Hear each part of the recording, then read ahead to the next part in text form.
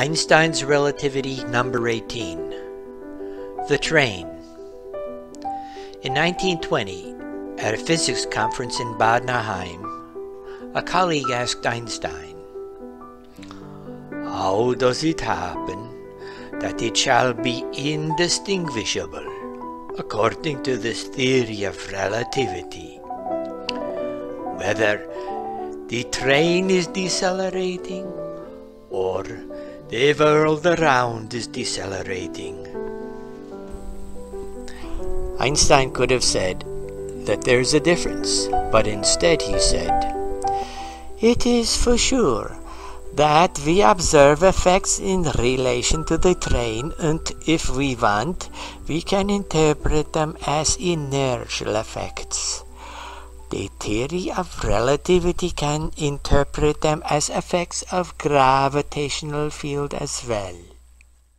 General relativity was Einstein's endeavor to understand the relationship between inertial and gravitational mass, acceleration, and how it all relates to space and time.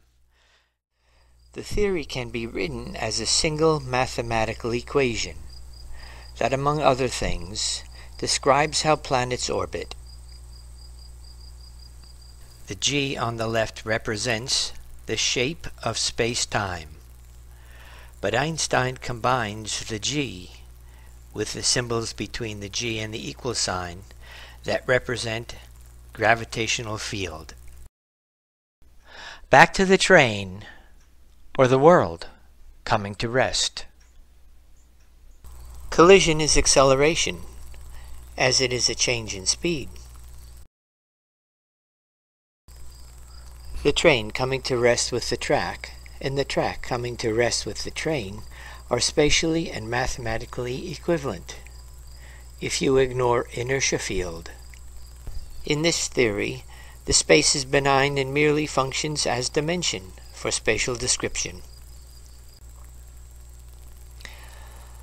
When the train comes to rest with the track fastened to earth, the train's inertia is temporarily dynamic. The block's inertia tugs the block down. If the track fastened to earth came to rest with the train, the block on the train remains standing because the world came to rest with it.